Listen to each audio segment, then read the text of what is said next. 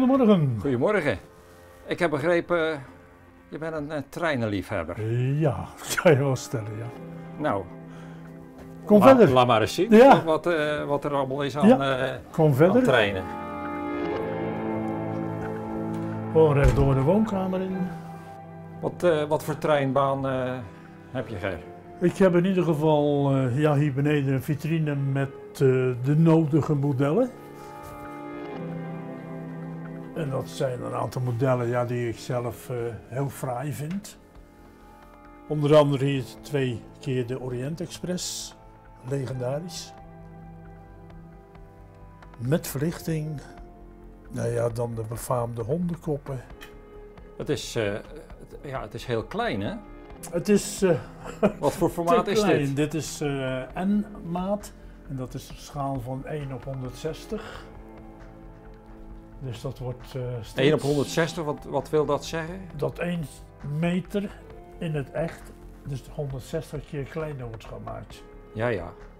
Dus dat wordt eh minuscuul werk allemaal. Wat, heeft dat voor voordeel het om met zo'n kleine schaal te Ja, werken? het grote voordeel is dat je op een beperkte baan, beperkte maatbaan, al een heel leuk dingetje kan uitzetten.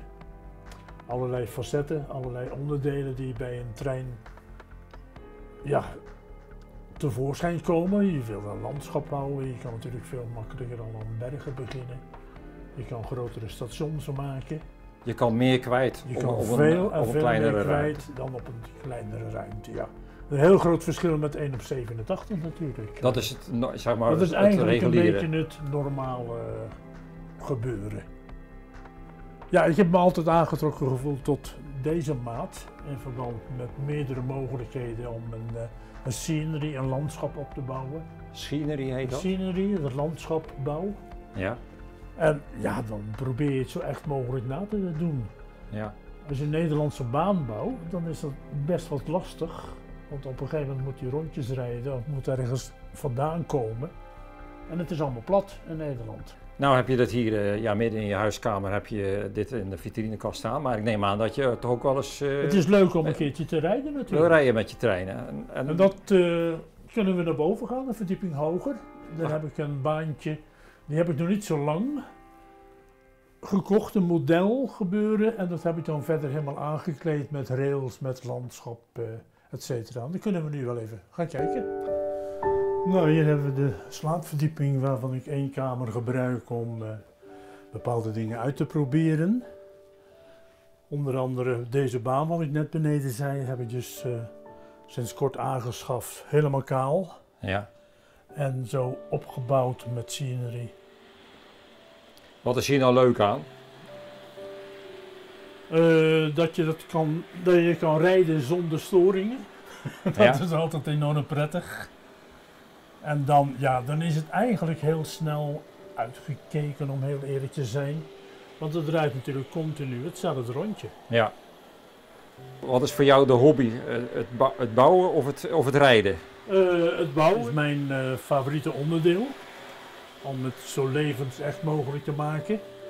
En dan, ja, dan wil je op een gegeven moment wel een keertje zien dat het natuurlijk rijdt en dat het werkt. Maar je hebt nog een andere baan. Ik heb eh, mijn eigenlijke baan, Ja. die nog steeds niet klaar is, die heb ik boven. En daar kunnen we ook wel even kijken. Dat is nog een verdieping hoger. Nog dan, een verdieping dan hoger. gaan we naar de zolder. Ja, prima. Nou, hier komen we dus op de zolderverdieping. Ja. En hier heb je ook nog een... Twee eh, gedeeltes gesplitst. Een werkplaats met de voorraad wagons en locomotieven die er verder nog zijn. ja, want eh, zo net beneden in de huiskamer had je wat staan. Maar hier heb je ook wel het een en ander staan. Hè? Het nodige, ja. Het kan nooit allemaal op de baan hoor. Maar ik heb dus wel de keuze dat ik eh, ja, in tijdvakken kan rijden. Ja. Bijvoorbeeld alleen stoom of alleen diesel of alleen elektrisch. Hier staan allemaal eh ja, wagonnen, hè? Ja, dit is grotendeels eh wagonnen. Enkel eh, lok staat hier tussen.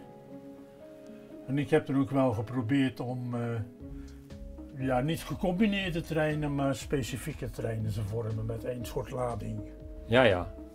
En dan ja, aan deze En kant dit gedeelte is eh, ja, nog meer loks. nog meer loks. Van alles wat, diesel, eh ja, heel veel diesels, een paar elektrische, met name linksboven heb je de befaamde krokodillen.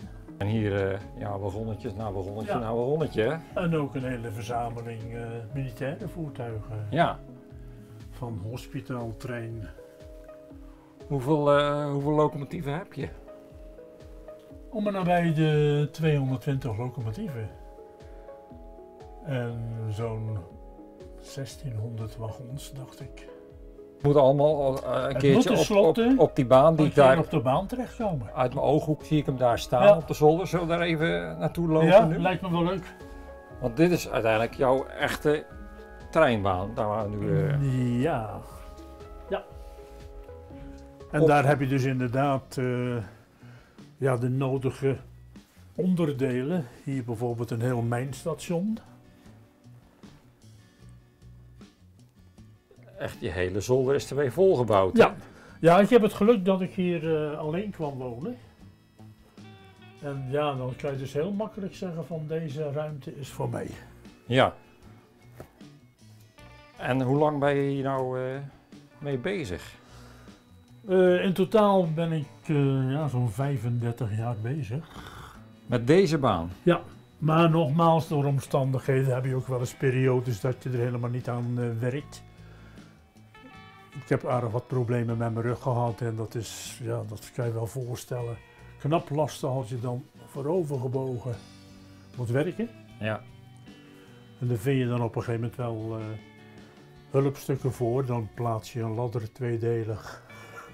Je Om- schuin tegen de muur. Om boven die baan uit te kunnen Ja, komen. en dan heb je wel het voordeel, dan kan je wel met twee handen tegelijk weer werken. Ja. Hier is het grote berggebied.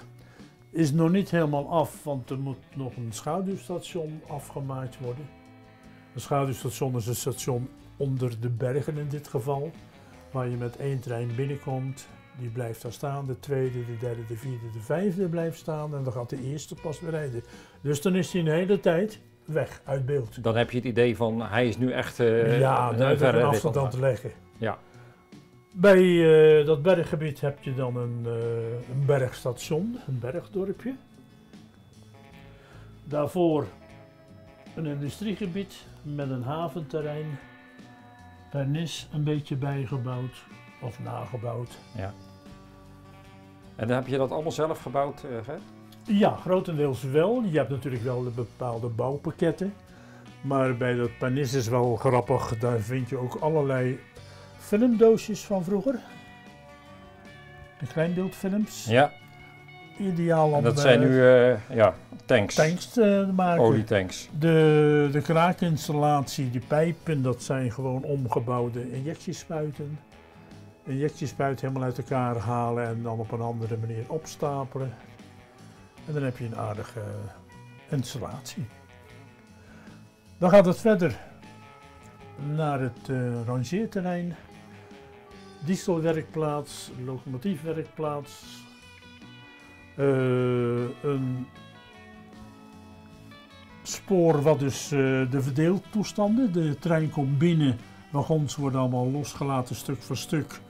En dan komen ze dus in die verdeelbaan. Dan kunnen nieuwe treinen gevormd worden. Die kunnen dan op een gegeven moment weer vertrekken naar een vertrekstation, vertreksporen. Daar heb je ook aankomstsporen. En dan komen ze op een gegeven moment via die lange brug over het dieselgebeuren komen ze hier bij de grote stad. Dat is een eh, stadsmuur uit Duitsland, Rotenburg en de Tauber. Dat is een bestaande... een bestaande plaats. Ben ik zelf ook toevallig een paar keer geweest. Eerste keer heel toevallig, tweede keer met opzet wilde ik hem nog eens een keer zien. Ja. Daar staat echt zo'n stadsmuur Daar is echt zo'n eh, stadsmuur en dat leuke. Dus ik heb daar dus ook een aantal keren doorgelopen en aan de binnenkant over de stadsmuur gelopen. En dan, ja, dan speelt het op een gegeven moment toch wel even extra. Eh, ik heb hem dus dus quasi groter gemaakt door de spiegels achter te plaatsen. En dan Dan lijkt het twee keer zo groot. ja, dan komt het vooral heel mooi uit met die woonblok. Dan lijkt het dus echt dat het een, ja, een grote woonblok is natuurlijk. En hier is dan ook nog een, eh, een heel groot eh, station hier. Ja, Eh, dit is echt een stadsstation met acht sporen. Dat lijkt op een kopstation waar ze binnenkomen en dezelfde weg terug moeten gaan. Maar dat werd voor mij een beetje te lastig met de hoeveelheid wissels die je dan extra kwijt ben. Dus ik heb hem gewoon onder de stad door laten gaan. Ja, ja. Waardoor die ook weer extra lang weg is. ja. Nou, eh, kan er ook al wat rijden hier? Want je, je bent er nog mee bezig, hè? Je- Ja, ik ben zonder meer nog Hier, bezig. hier hebben we nog een heel open stuk, Ja. zeg maar, waar nog helemaal niks, eh, nou ja, eh, er Een liggen gedeelte van het schaduwstation. Ik moet nog zo'n stuk vijf keer maken. En dan komt er een bergwand naar de kastelen toe. Op de bergwand komen dan ook weer, weer andere stukjes scenerie, zoals een wijngaard. Dus op die manier bouw je dat eigenlijk iedere keer door. Ja. We kunnen hem eh, Maar starten, je, kan- je ja. kan al wat laten rijden. Ja, ik kan al wat laten rijden. Dan gaat hij zo meteen boven het eh mijnstation langs naar rechts toe.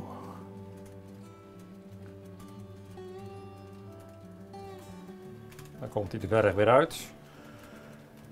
En dan gaat hij de berg weer in. En dan verdwijnt hij een heel stuk. Dan gaat hij dus uit het zicht. Ja, en komt hij weer aan uit de berg. Duikt hij de andere berg in. En dan maak je een hele spiraal omhoog.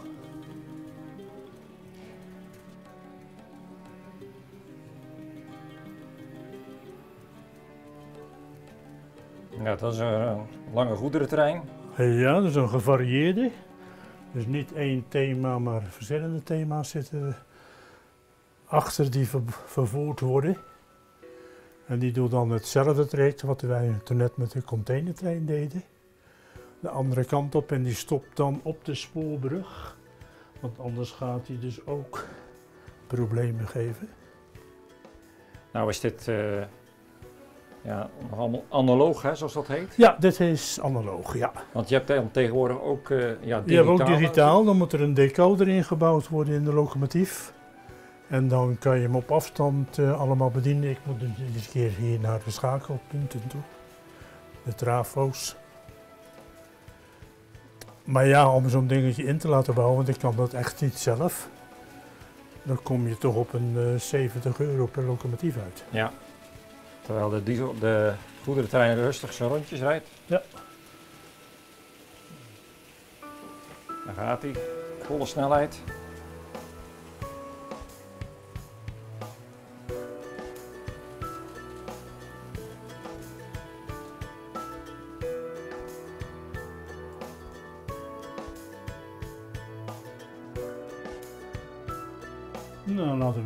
Wachten voordat hij het station binnenkomt. Maar voor, voor jou is eh, ja, het, het, het bouwen van de baan eigenlijk de hobby. Hè? Ja, dat is echt de hobby. Uiteindelijk is het natuurlijk de bedoeling dat, eh, ja, dat alles hier gaat rijden. Ja. En min of meer automatisch? Of wil je Ja, toch ook wel... nee, het moet ook automatisch worden. Er bestaat tegenwoordig ook een manier om eh, de analoge loks door middel van een hele centrale unit, om dat dan toch digitaal te laten rijden. Want die centrale unit die pakt allerlei informatie op en die geeft hij dan door aan de locomotief die op dat moment op een bepaald treinvak zit. Ja, ja. Even kijken. Maar je wil ook wel een gedeelte gewoon handmatig blijven laten Ja, rijden. ik wil vooral het eh rangeergedeelte, het locomotiefwerkplaats, het haventerrein, dat wil ik dus handmatig doen. Dat je gewoon zelf aan de transformatoren... Anders denk je dat je het heel gauw gezien hebt. Ja, Dan doe, je, dan doe je de stekker erin, je zet hem aan en, en eh, het gaat rijden. en dat gaat rijden. En dat lijkt me nou niet echt... eh, Nou, dan gaan we wat. Volle snelheid.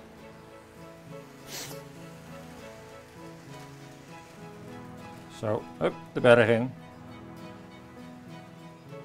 Ja, En dan komt hij bij het mijnstation.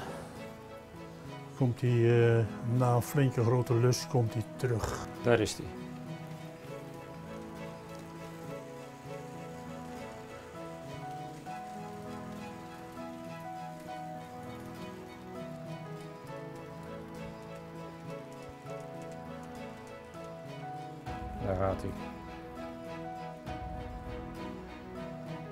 Nou, die verdwijnt ook weer de berg in. En waar komt hij tevoorschijn, eh, Ger?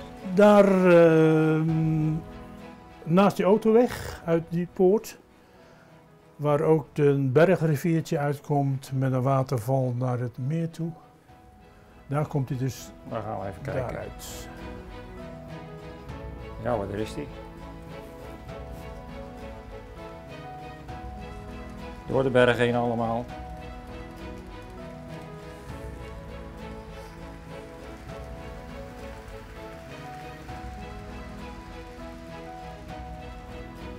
En zo rijden ze allemaal lekker hun rondjes. Ja, Hoeveel meter rails ligt hier nou?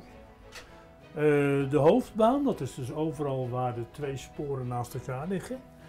Als je dat afrijdt, want hij draait dus eigenlijk als een soort hondenbot draait hij zo rond. Ja. Vandaar die eh, schaduwstations ook. En dan ligt er zo'n 125 meter. Ja, ja. En dan hebben we nog niet al de rails meegerekend van de industrieterrein, van de lokwerkplaats. Ik denk dat je ver over de 200 meter komt. eh. Dus En daar ben je nu al, al 35 jaar ben je hier nu al eh, mee bezig. Ja, Om, erg, dat, om, dit te, om dit te vervolmaken. ja. Maar nogmaals, op deze manier blijft het wel leuk. En ik denk als het klaar was geweest, ik denk dat je hem dan weer af gaat breken en iets nieuws gaat ontwerpen. Ja, ja. Maar daar heb ik de, de leeftijd niet meer voor. Om zoiets te gaan doen, want die handjes en die oogjes die gaan steeds meer problemen geven.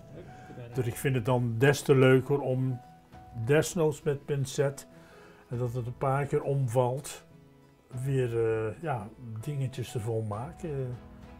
Zo zie je dat meer wat je hier hebt, dan maak je een waterval bij. Met stilstand water is dat natuurlijk al heel moeilijk. Maar met behulp van eh, wat tandpasta kun je de waterval aardig eh, suggereren. En bevalt hij niet goed, even nat maken en je haalt de tandpasta weer weg. Dat is het grote voordeel. Ja, en verder ook ja, je schakering van je boompjes. eh, ik dacht dat ik het allemaal aardig had met eh, tunnelportalen. Maar nu blijkt toch dat ze te smal zijn, de tunnelportalen. Dus ja, die moet je dan op een gegeven moment dan weer aan gaan passen. Dan, dan moet je er gewoon maar even door midden slijpen. Een centimetertje uit elkaar. En weer een stukje erachter. Of ervoor lijmen en dan kan die wel gewoon erin. Ja, ja. Want nu ontsporen ze of ze blijven haken. ja. En daar kom je dan gaandeweg kom je daarachter. Daar kom ik dus nu allemaal achter. Omdat, eh, ja, je wil toch de baan laten rijden. Ik vind het al voldoende om te kijken. Maar ik kan me heel goed indenken dat het publiek zegt van ik wil toch iets zien eh, Zie rijden. wat rijdend is. Ja, ja.